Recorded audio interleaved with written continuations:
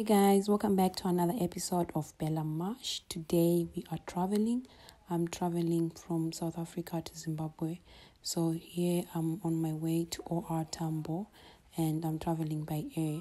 So it was a beautiful morning, sunrise, it was so nice and I loved it so I just wanted to capture it and now we are at OR Tambo and I'm about to take my flight to Zimbabwe.